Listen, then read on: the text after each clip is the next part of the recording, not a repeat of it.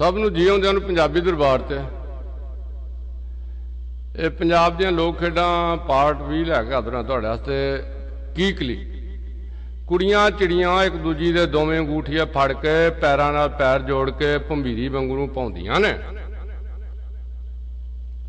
ਪਾਉਂਦੀਆਂ ਪਾਉਂਦੀਆਂ, ਜਿਹੜੇ ਗੀਤ ਗਾਉਂਦੀਆਂ ਨੇ ਉਹਨੂੰ ਵੀ ਕੀਕਲੀ ਆਖਿਆ ਜਾਂਦਾ ਹੈ। ਇੰਜ ਕੀਕਲੀ ਇੱਕ ਲੋਕ ਗੀਤ ਵੀ ਹੈ ਤੇ ਬਾਲੜੀਆਂ ਦਾ ਇਹ ਹਲਕਾ ਫੁਲਕਾ ਲੋਕ ਨਾਚ ਵੀ ਤੇ ਖੇਡ ਵੀ ਦੀ ਖੇਡ ਵੀ। ਕੀਕਲੀ ਦੇ ਗੀਤਾਂ ਦੇ ਨਮੂਨੇ? ਕੀਕਲੀ ਕਲੀਰ ਦੀ, ਨੀ ਕੀਕਲੀ ਕਲੀਰ ਦੀ? ਦੁਪੱਟਾ ਮੇਰੀ ਭਾਬੋ ਦਾ ਤੇ ਪੱਗ ਮੇਰੇ ਵੀਰ ਦੀ। ਕੀਕਲੀ ਕਲੀਰ ਦੀ, ਨੀ ਕੀਕਲੀ ਕਲੀਰ ਦੀ? ਕੀਕਲੀ ਕਲੀਰ ਦੀ, ਪੱਗ ਮੇਰੇ ਵੀਰ ਦੀ? ਦੁਪੱਟਾ ਮੇਰੇ ਭਾਈ ਦਾ, ਸ਼ੇਰ ਸਿਪਾਈ ਦਾ, ਫਿਟੇ ਮੂੰਹ ਜਵਾਈ ਦਾ।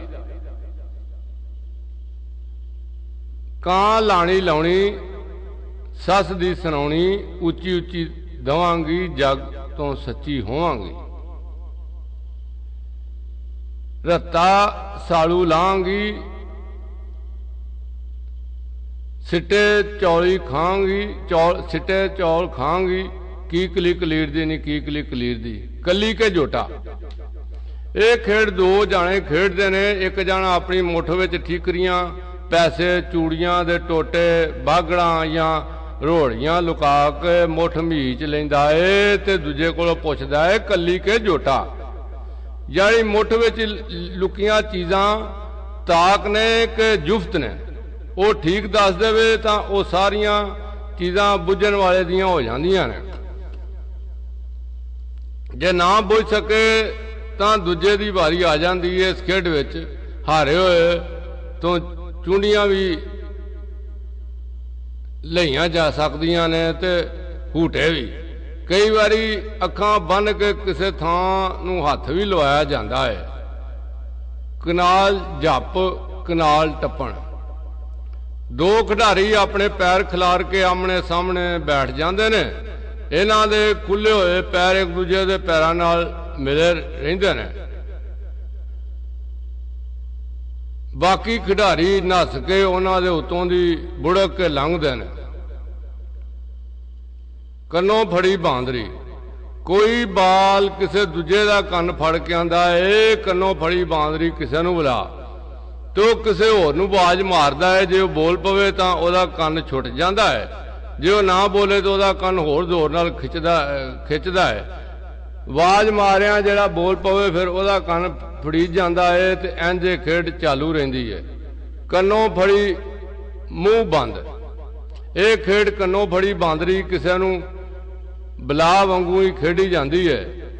ਪਰ ਇਹਦੇ ਵਿੱਚ ਆਵਾਜ਼ ਨਹੀਂ ਮਾਰੀ ਜਾ ਸਕਦੀ, ਸਿਰਫ ਇਸ਼ਾਰੇ ਤੋਂ ਹੀ ਕੰਮ ਲਿਆ ਜਾਂਦਾ ਹੈ ਕੋਤਲਾ ਛਪਾਕੀ, ਕੋਰੜਾ ਛਪਾਕੀ, ਕੋਕਲਾ ਛਪਾਕੀ। ਸਾਰੇ ਖਿਡਾਰੀ ਗੋਲ ਦਾਇਰੇ ਵਿੱਚ ਧੌਣਾ, ਨੀਵੀਆਂ ਕਰਕੇ ਬਹਿ ਜਾਂਦੇ ਨੇ। ਕਿਸੇ ਨੂੰ ਪਿੱਛੇ ਭੌਂ ਕੇ ਵੇਖਣ ਦੀ ਇਜਾਜ਼ਤ ਨਹੀਂ ਹੁੰਦੀ। ਇੱਕ ਜਾਣਾ ਕੱਪੜੇ ਨੂੰ ਵੱਟ ਚਾੜ ਕੇ ਕੁਰੜਾ ਜਿਹਾ ਜਿਹਾ ਬਣਾ ਲੈਂਦਾ ਹੈ ਤੇ ਦਾਇਰੇ 'ਚ ਬੈਠੇ ਮੁੰਡਿਆਂ ਦੇ ਦੁਆਲੇ ਚੱਕਰ ਲਾਉਂਦਾ ਹੈ ਤੇ ਨਾਲ ਇਹ ਬੋਲਦਾ ਹੈ ਕੋਟਲਾ ਕੋਕਲਾ ਛਪਾਕੀ ਜੁਮੇਰਾਤ ਆਈ ਜੇ, ਜਿਹੜਾ ਪਿੱਛੇ ਮੁੜ ਕੇ ਵੇਖੇ ਉਹਦੀ ਸ਼ਾਮਤ ਆਈ ਜੇ।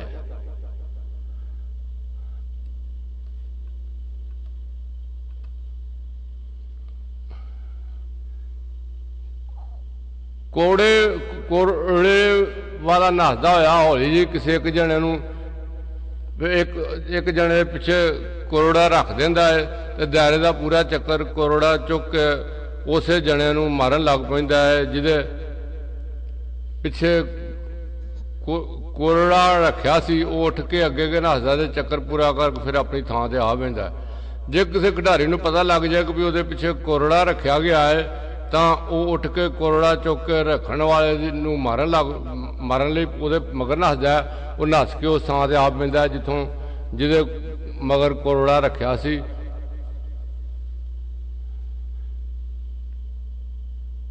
ਉੱਠਿਆ ਸੀ ਹੁਣ ਉਹਦੀ ਵਾਰੀ ਹੁੰਦੀ ਏ ਕਿਸੇ ਦੇ ਪਿੱਛੇ ਕੋਕਲਾ ਲਕਾਉਣ ਦੀ।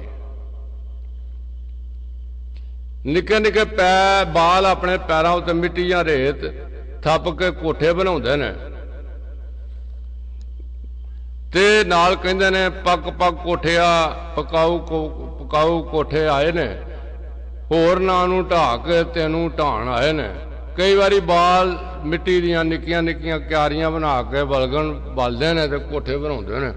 ਅਖੀਰ ਵਿੱਚ ਖੇ- ਖੇਡ ਖਤਮ ਕਰਦੇ ਆ, ਆਖਦੇ ਨੇ, ਹੱਥਾਂ ਨਾਲ ਬਣਾਇਆ ਸੀ, ਪੈਰਾਂ ਨਾਲ ਢਾਇਆ ਸੀ, ਹੱਥਾਂ ਨਾਲ ਬਣਾਵਾਂਗੇ ਬਣਾਵਾਂਗੇ ਪੈਰਾਂ ਨਾਲ ਢਾਵਾਂਗੇ ਕੌਡੀ ਖੇਡ ਸ਼ੁਰੂ ਕਰਨ ਲਈ ਖੁੱਲੇ ਮੈਦਾਨ ਵਿੱਚ ਲਕੀਰ ਖਿੱਚ ਕੇ ਉਹਦੇ ਦੋਵਾਂ ਸਿਰਿਆਂ ਤੇ ਦੋ ਮੁੰਡੇ ਪਾਉਂਦੇ ਨੇ ਜਾਂ ਘੋਰ ਨਿਸ਼ਾਨੀ ਰੱਖ ਦਿੰਦੇ ਨੇ ਇਹਨਾਂ ਸਿਰਿਆਂ ਨੂੰ। ਪਾਲੇ ਜਾਂ ਬੰਨੇ ਆਖਿਆ ਜਾਂਦਾ ਹੈ ਇਸ ਖੇਡ ਦੀਆਂ ਕਈ ਸੂਰਤਾਂ ਨੇ ਪਰ ਕੌਡੀ ਜਾਂ ਸਾਹ ਵਾਲੀ ਕੌਡੀ ਦੋਵੇਂ ਲਾਮੀਆਂ ਦੇ ਖਲ ਖਿਡਾਰੀ ਆਪਣੇ ਅਹ, ਲਾਮੇ ਖਿਲਰ ਕੇ ਖਲੋ ਜਾਂਦੇ ਨੇ। ਇੱਕ ਜਿਹੜਾ ਸਾਹ ਪਾਉਂਦਾ ਹੈ ਯਾਨੀ ਕੌਡੀ ਕੌਡੀ ਆਂਦਾ ਜਾਂ ਦੂਜੀ ਟੋਲੀ ਦੇ ਕਿਸੇ ਖਿਡਾਰੀ ਨੂੰ ਹੱਥ ਲਾ ਕੇ ਆਪਣੀ ਹੱਦ ਵਿੱਚ ਆਉਣ ਦੀ ਕੋਸ਼ਿਸ਼ ਕਰਦਾ ਹੈ। ਜਿਹੜੇ ਖਿਡਾਰੀ ਨੂੰ ਉਹ ਹੱਥ ਲਾ ਦੇਵੇ, ਉਹ ਮਰ ਜਾਂਦਾ ਹੈ ਤੇ ਜਿਨ੍ਹਾਂ ਚਿਰ ਦੂਜੀ ਟੋਲੀ ਦਾ ਇੱਕ ਖਿਡਾਰੀ ਨਾ ਮਰੇ, ਉਹ ਜੀ ਨਹੀਂ ਸਕਦਾ। ਖੇਡ ਵਿੱਚ ਹਿੱਸਾ ਨਹੀਂ ਲੈ ਸਕਦਾ। ਜੇ ਕੌਡੀ ਜਾਂ ਸਾਹ ਪਾਉਣ ਵਾਲਾ ਫੜਿਆ ਜਾਏ, ਤਾਂ ਉਹ ਮੁਰਦਾ ਮਿਥਿਆ ਜਾਂਦਾ ਹੈ। ਜੇ ਉਹਦਾ ਸਾਹ ਟੁੱਟ ਜਾਵੇ ਤੇ ਉਹਨੂੰ ਕੋਈ ਹੱਥ ਵੀ ਲਾ ਦੇਵੇ, ਤਾਂ ਵੀ ਉਹ ਮੁਰਦਾ ਹੀ ਗਿਣਿਆ ਜਾਵੇਗਾ। ਜੱਫਲ ਕੌਡੀ